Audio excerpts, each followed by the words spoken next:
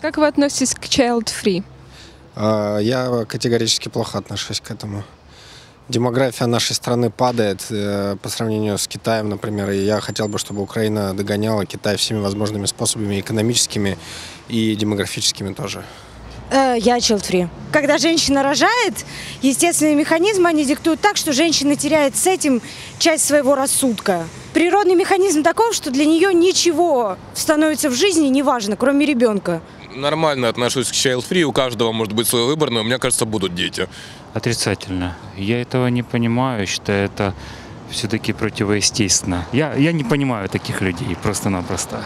Очень-очень плохо. Дети – это цветы жизни. Вот.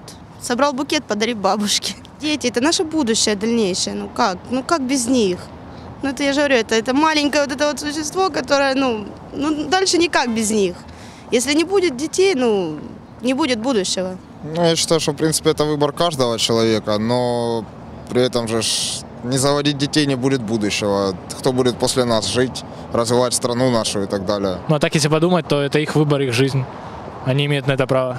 Ну, вот у меня сыну, что называется, годы 5 месяцев, а мне 46 лет. Поэтому я негативно отношусь к child free. А Потому что человечество в- вымрет, если будут все child free. Не каждый может быть создан для этого. Ну, я не знаю, я не бог, не всевидящий. Но в целом я считаю, что, конечно, смысл наш в чем? Э, В продолжении ро- рода, в развитии и так далее. Поэтому в целом я за то, что, конечно, нужно рожать.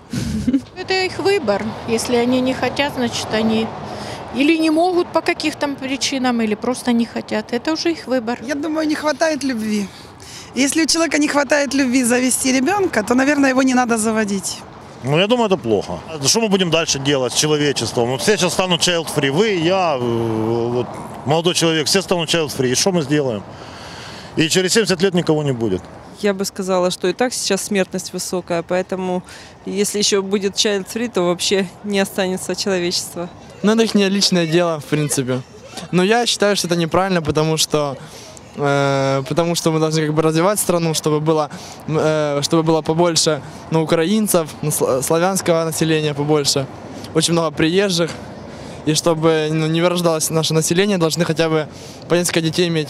Некоторым людям действительно лучше не заводить детей. И пока ты не будешь уверен в том, что ты вырастешь хорошего ребенка, уделишь ему максимум внимания, то, что у него не будет комплекса, вот только тогда нужно и заводить детей. Потому что многие заводят как бы детей по залету, и куча биологического мусора вокруг нас в итоге получается. Поэтому, возможно, люди просто осознанно подходят к, к вопросу воспитания детей. Поэтому я одобряю. Я за.